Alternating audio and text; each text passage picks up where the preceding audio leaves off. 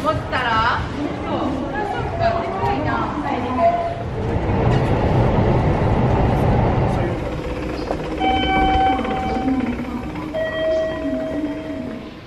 Hello Internet, I'm Daniel and hello from Kyoto in Japan. Now the sun has just come out so that's fantastic. I hope you are doing really fantastic. I am. Okay, that was cheesy, but anyhow, hello from Kyoto in Japan. And probably you're thinking, well, what are you doing in Japan, sunshine? Well, what am I doing here? is really crazy story. I'm going to uh, participate in the so-called STS Forum 2018 and that's the Science and Technology in Society Forum which is being held in Japan in Kyoto. Really cool. So probably you're thinking the same thing as I. How did you end up going there? Now, it's quite a simple story actually. A couple of months ago I received a phone call from the Austrian uh, Federal Ministry for Digital and Economic Affairs and they said, look, we'd like to nominate you uh, to apply for this whole thing. And I was like, okay, cool, how does that work? So I had a quite a long application process um, and the final word was, uh, was, was taken in Japan if I could participate or not. Obviously it worked out, I'm here, this is really cool and I'm super excited to see kind of what the day is going to bring. So let's do this. Kind of making a bit of an idiot of myself, filming myself in public, getting all these smart people stare at me going like, who's that guy? Who let him in? So, let's do this before I get tossed out.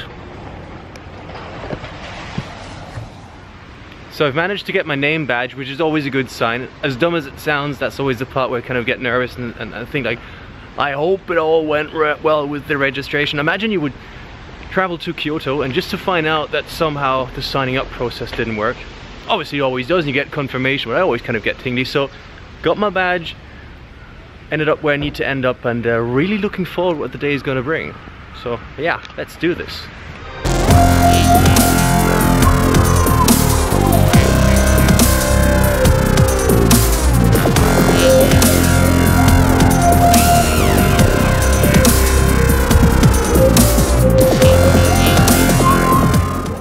140 people from 42 different countries, none of them older than 40, have just been talking to seven different Nobel laureates. I was privileged to be one of these 140.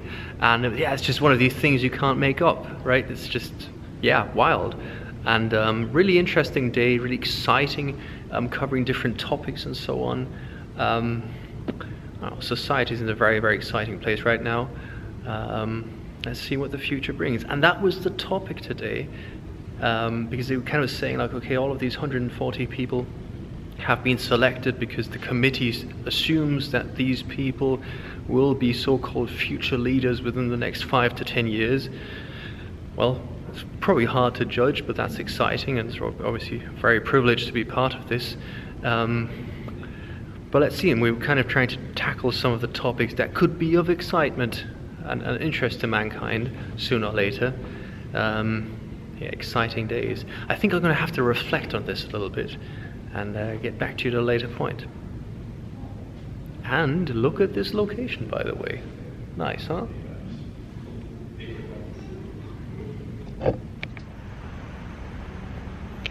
So I'm heading back to the underground to go back to my hotel in Kyoto and uh, yeah, that's the uh, conference building behind me right now. It's just beautiful place, Kyoto.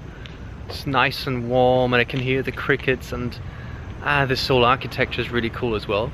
And I've had kind of like a couple of moments to reflect on some of the things I've heard. And uh, one of the Nobel laureates, Professor Lee, had said two things that kind of stuck to me. Number one is on, on, on teaching, teaching anything and anyone. He said, a good teacher is not someone who gives his students a lot of homework, to do and kind of practice mechanically that they become the best at mastering something specific, but rather that he sends them home with a specific problem, something they can think about. And that's something I, I, I kind of miss so often nowadays, is seeing so many people that kind of try and master a certain craft or whatever it is, but don't understand that it's about reflecting on issues and thinking about issues and coming to a solution for something. Um, it's just too, too rarely done. Very exciting approach.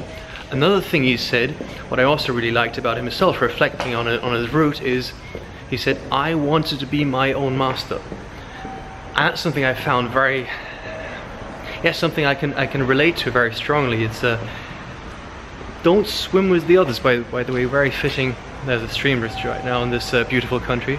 Don't swim with the others, but be your own master, master, have your own faith in your hands, but also understand that you're responsible for everything you achieve in life, for all the good things and all the bad things.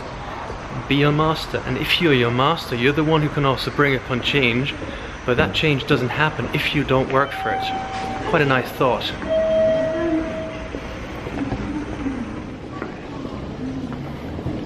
Now, just reflecting on this whole be your master sentence, um, what I also like about it is it's about taking responsibility, something as an entrepreneur I really like a lot, but it also just means not just taking responsibilities for your victories and all the good things, but also for everything bad that happens, and even if you might not be directly responsible for it because whatever, hey, it's, it's your faith. You have to tackle and you have to uh, uh, grip with both hands. So, um, I like that. Good sentence. I'm still walking around around to the underground and still thinking about that sentence, be your own master, and and also what it has to do with being a leader. And so I'm starting wobbling around a bit. And I think as a good leader, um, you also have to understand that being your own master means kind of living up to the responsibilities you're given in life. And I think um, wanting to change things mean means you also take up responsibility for them, something and for other people and for your actions. Now that's probably not the easiest thing, but a good thing.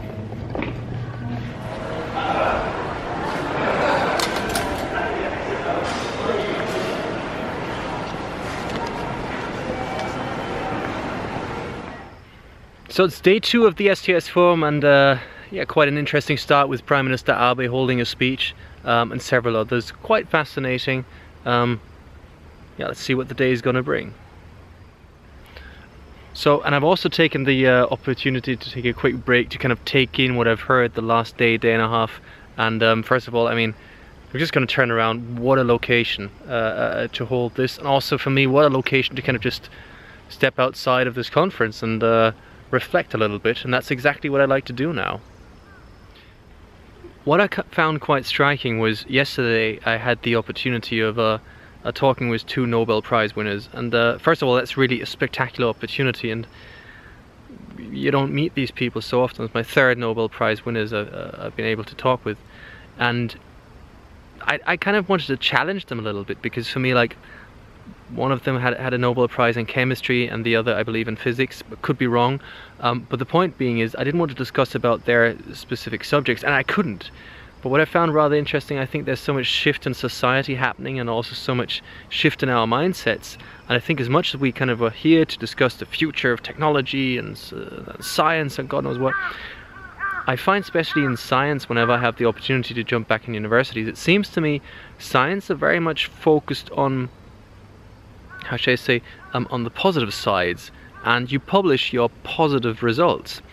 But with it, hardly anyone ever, if at all, publishes negative results. And this is something I find quite peculiar. Now, I was told, yes, yes, yes, people do publish their negative results if they are not repeatable, whatever that means. But think of all that brain power and that energy and that time that is lost just quite simply because science has for some reason not published negative results. So that means every time people, that's the way it sounds to me, have to start again at the drawing board and start making the same mistakes as everyone else. Imagine how fast we could move on in, in, in, in, in science and, and probably even in mankind um, if we were to publish this and would have some sort of a uh, uh, data we could rely on and then move forward. It's a real shame. Um, and I think it's, for me, one of the pressing issues one should really look at are not so much the little nitty gritty de details. Um, but let's see, I'm curious to discuss this with more people. Let's see.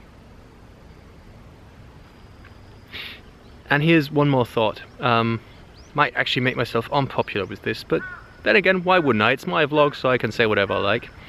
Um, I think uh, science is science and, and, is not doing a good job of promoting and marketing itself. And what do I mean with that? Um, I mean, it seems to me it's still a very elitist thing. Um, um, um scientists talking with scientists about science. Yeah, it sounds a bit stupid, but with that I mean is, I think it would require a lot more trying to fascinate the young kids um, maybe also from the not so well off background, how fascinating science in all these different areas can be, how important it will be to create tangible role models. Um, because I, I absolutely am convinced we would get more kids and more diverse people um, into science, which would probably have a very different approach to the whole thing if we could fascinate them a lot earlier for these incredible broad fields. Um, I'm very much convinced um, if we were to do that, we would within 10, 20 years have a huge shift in who does what uh, and, and, and, how to create um, even more. Um, it's a shame. Oh, and while I'm at it, now is another thing.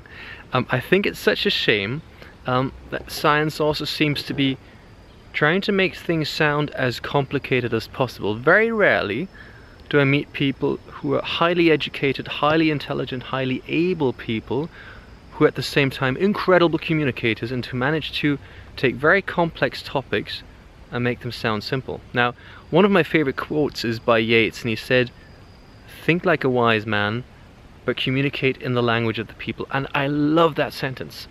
And for me, I would just so love that science as such, maybe even at a place like here, would kind of take a step back and say, okay, we kind of always amongst each other, which is good kind of comparing data, but what can we do to fascinate a broader audience for this incredible field we're all in?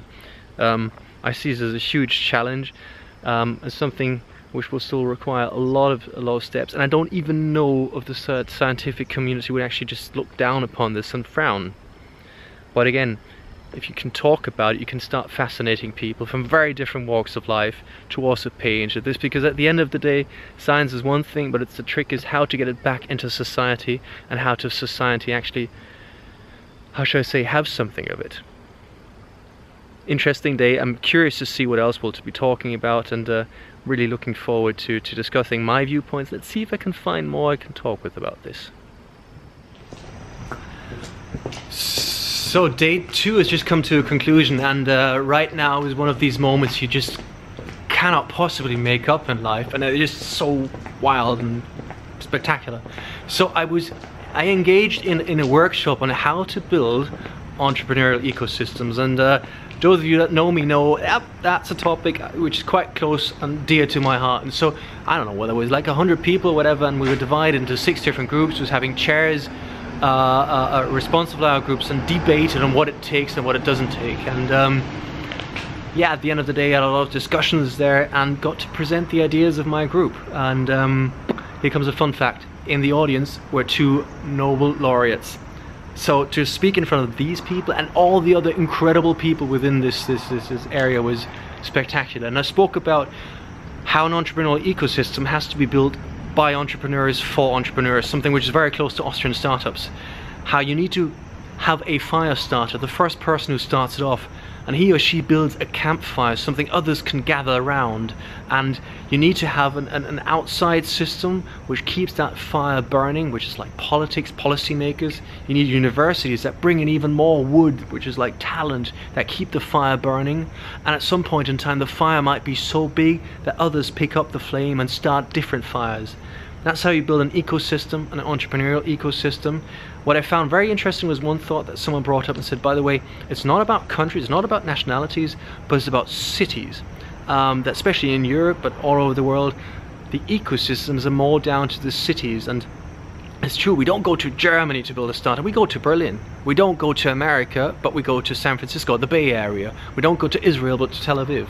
And the point being is that's a huge challenge, that's a huge opportunity for startups and at the other side cities to sit together and understand what are we good at and what can we build upon and how can we position ourselves.